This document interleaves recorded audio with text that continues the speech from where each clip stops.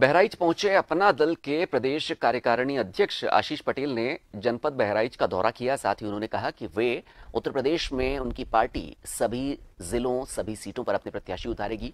उन्होंने कहा कि अगर आगे कोई समझौता होता है तो वो फैसला राष्ट्रीय स्तर से किया जाएगा। उनका कहना है कि आगामी चुनाव को लेकर हर जगह अलग अलग पदाधिकारी की ड्यूटी लगाई गई है, जिसे लेकर आज उनका दौरा बहराइच में और कल जनपद लखीमपुर खीरी में है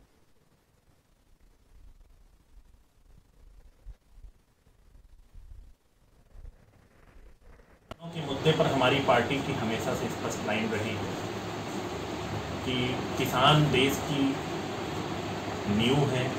उनके बिना किसी भी प्रकार का देश की प्रगति संभव नहीं है।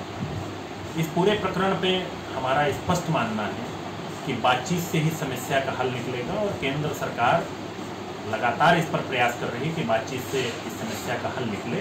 और मुझे पूरी उम्मीद है जल्द ही इस समस्या का हल बातचीत से निकले।